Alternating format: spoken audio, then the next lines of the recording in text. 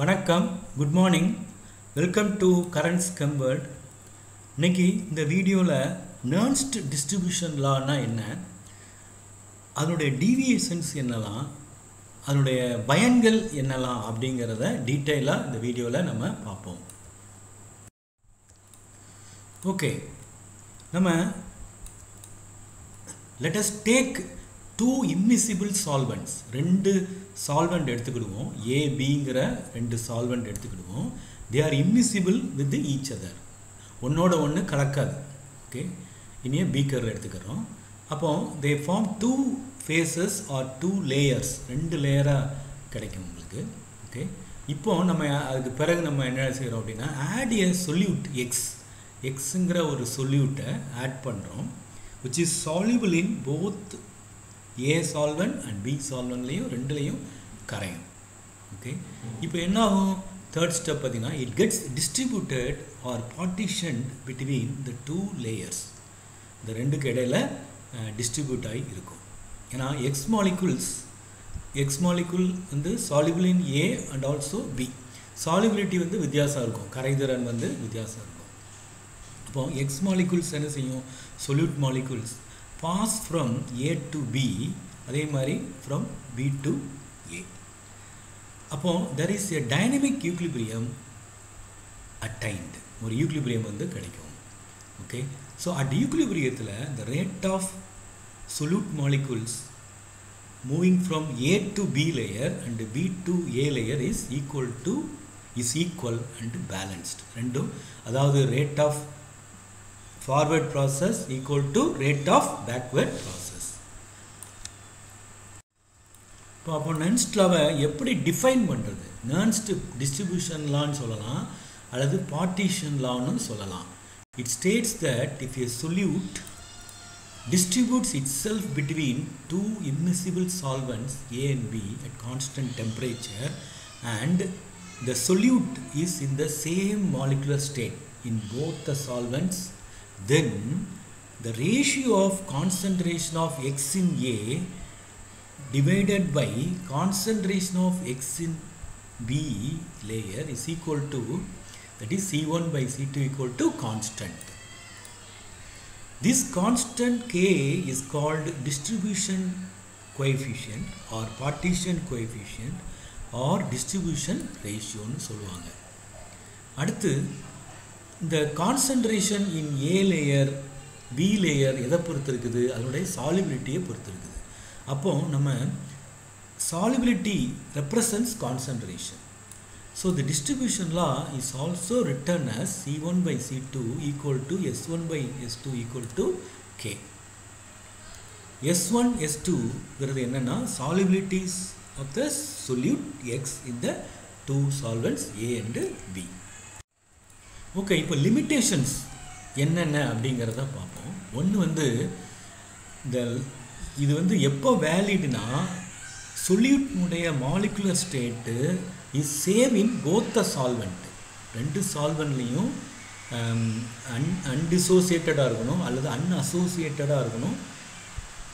அடுத்து பார்த்திங்கன்னா இந்த solute undergoes association or dissociation in any one of the solvent then in such a case the distribution law is no longer valid. அப்போ நம்ம அதை modify பண்ணணும். இப்போ அசோசியேஷன் ஒரு சொல்யூட் இருக்குது.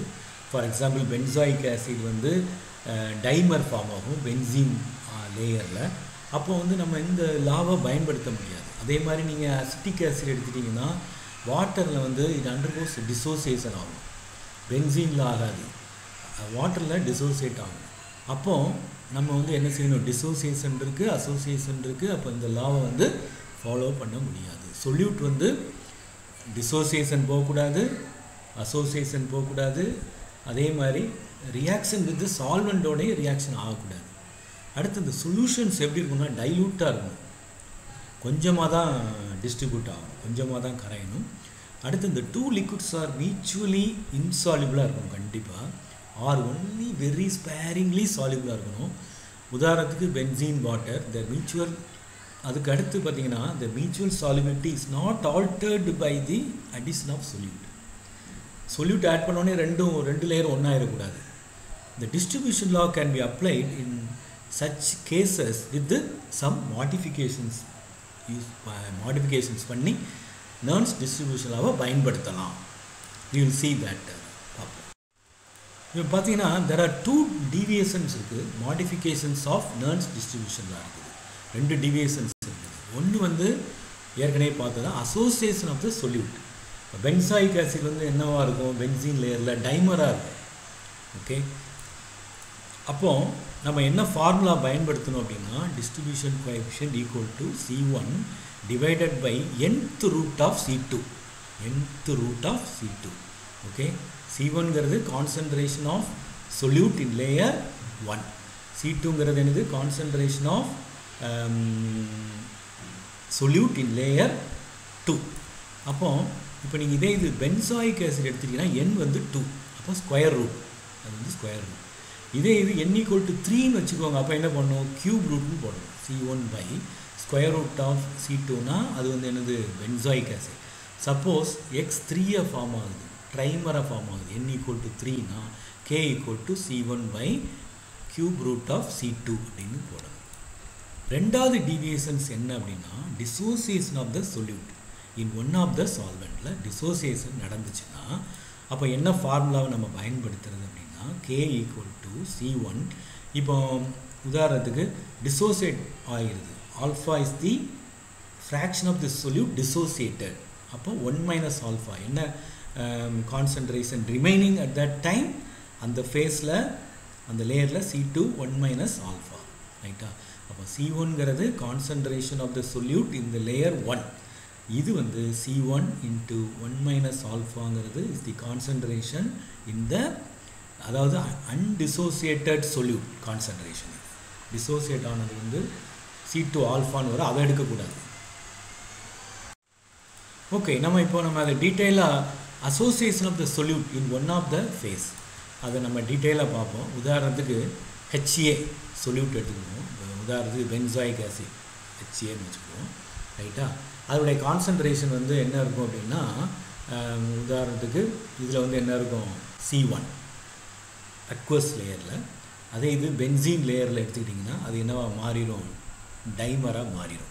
அப்போ two H benzoic acid reversible benzoic acid dimer அல்லது NHA reversible arrow HAN okay right இப்போ வந்து சி ஒன்கிறது அப்போ let solute HA molecules are associated to give HAN dimer are HAN in phase two okay there are two solvents, phase one and phase two and the associated molecules okay the associated molecules will be in equilibrium with the undissociated unassociated molecule the associated molecule will exist in equilibrium with the unassociated molecules okay அடுத்து let C2 C1 be the concentration of H solute in phase 1 and C2 be the total concentration of solute in phase 2 okay இப்போ apply the law of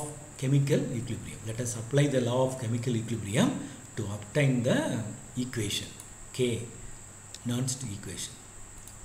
இப்போ பார்த்தீங்கன்னா HA நம்ம reverse எழுதிக்கிறோம் அதில் reverse ஏன்னா அந்த K value வர்றது ஒன்றும் இல்லை. இப்படி மாற்றி எழுதினாலும் ஒன்றும் இல்லை ஹெச்ஏஎன் ஏன்னா ரிவர்சிபிள் ரியாக்ஷன் தான். என் ஹெச்ஏ போட்டுக்கிறோம்.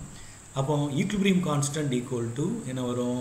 இதனுடைய concentration to the power n divided by H concentration of HA n ரைட்டா இப்போ வந்து நம்ம இங்கிட்டு என்ன செய்கிறோம்னா நம்ம இதை இங்கிட்டு கொண்டு வந்துடுறோம் HA to the power n concentration இதை கொண்டு வந்துட்டு இது இங்கே எழுதிடுறோம். எழுதிட்டு ஹச்ஏ இங்கே வந்து என்த் ரூட் எடுத்துடுறோம் இப்போ டூனா ஸ்கொயர் ரூட் வந்துடுவோங்க இந்த டூ இப்போ டைம் பென்சாயிக் ஆசிட்னா டூ வரும் ஸ்கொயர் டூன்னு வந்துடும் ஸ்கொயர் ரூட் வந்துடும் அப்போ கே ஹெச் கான்சன்ட்ரேஷன் ஆஃப் ஹெச்ஏஎன்னு அப்படி போட்டுரும் ஓகே இப்போ என்னென்னா பொதுவாக வந்து பென்சாயிக் ஆசிட் எடுத்துட்டிங்கன்னா லார்ஜ்லி அசோசியேட்டடாக தான் இருக்கும் பென்சின் லேயரில் அது வந்து இந்த ஃபார்மில் இருக்காது. கொஞ்சோண்டு இருக்குமா இருக்கும் ஆனால் நம்ம இந்த ஃபார்மில் இருக்கும் கொஞ்சம் ஆனால் மோஸ்ட்லி என்ன இருக்கும்? C two is equal to this one டைமராக தான் இருக்கும் அது. அப்போது C two equal to concentration of HAN ரைட்டா அப்படி எடுத்துட்டோம்னா அப்போ இந்த ஈக்குவேஷன் இதில் போடுங்க தூக்கி. அப்போ H concentration of HA nth root nth square nth root K ஹெச்ஏனுக்கு பதிலாக என்ன பண்ணணும் சி டூ போட்டிருங்க இப்போ என்னென்னா பட் த டிஸ்ட்ரிபியூஷன் லா எப்போ வேலிட்னா கான்சன்ட்ரேஷன் ஹெச்ஏக்கும் ஹெச்ஏக்கும் தான் இதை பார்க்க முடியும். நீங்கள் ஹெச்ஏக்கும் இதுக்கும் எடுக்க முடியாது. அப்போ இதனுடைய ஈக்குலிபிரியத்தை தான் நம்ம எடுக்க முடியும். ரைட்டா அப்போ வந்து distribution law is valid only for concentration of undissociated molecular species in two phases தான் எடுக்க முடியும். அன்டிசோசியேட்டாக அன் அசோசியேட்டடாக இருக்கிறது தான் எடுக்க முடியும். அப்போ C one K equal to C one concentration of solute HA in phase 1 divided by concentration of HA in phase 2 அப்போ இதை நம்ம போட்டுக்கிறோம். இப்போ நம்ம ஏற்கனவே ஹெச்ஏ கண்டுபிடிச்சிருக்கிறோம். ரைட்டா ஸோ அதை போட்டோம்னா என்ன வந்துடும் நம்மளுக்கு இது ஒரு கான்ஸ்டன்ட் இதோட கான்ஸ்டன்ட் வரும்போது கேன்னு வந்துடும் அப்போது C one nth root of C டூன்னு வந்துடும் இதே இது இப்போ பென்சாயிக் ஆசிட் எடுத்துக்கிட்டிங்கன்னா டூன்னு வந்துடும் அப்போ C one square root of C two வந்துடும் இதே இது என் equal to த்ரீனா C one by cube root of C டூன்னு வந்துடும் okay let us consider the second case dissociation of the solute in one of the phase இப்போ acetic acid எடுத்துக்கிட்டிங்கன்னா acetic acid எடுத்துட்டோம்னா benzene லேயரில் dissociate ஆகாது. அதே இது வாட்டரில் இட் இஸ் எ வாட்டரில் அக்வஸ் லேயரில் it is a weak acid அப்போ டிசோசியேட் ஆகும். அப்போ இங்கே பார்த்தீங்கன்னா let HA dissociates in phase two only phase டூவில் மட்டும் எடுத்துக்கிட்டோம். ஃபேஸ் ஒனில் வந்து இது வந்து டிசோசியேட் ஆகாது. அப்போ let C one be its concentration in first phase first ஃபேஸில் வந்து சொல்லிட்னுடைய கான்சன்ட்ரேஷன் வந்து சி ஒன் வச்சுக்கிறோம்.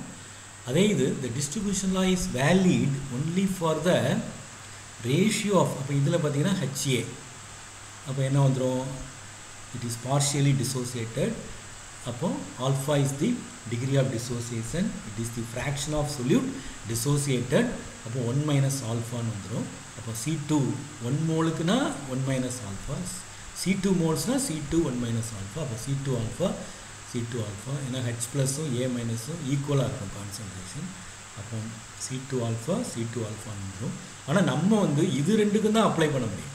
நல்லா கவனிச்சுக்கோங்க. அன்டிசோசியேட்டட் மாலிகுலுக்கு தான் the distribution law is valid only for the ratio of concentrations of undissociated solute molecules in two solvents. Okay?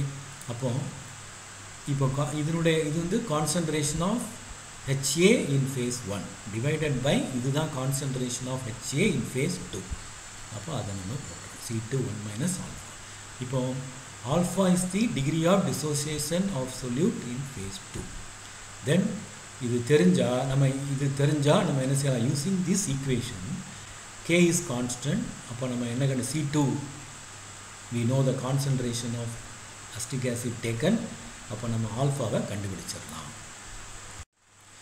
நன்றி. தேங்க்யூ ஃபார் வாட்சிங் ஷேர் பண்ணுங்கள் சப்ஸ்கிரைப் பண்ணுங்கள் தேங்க்யூ அகைன்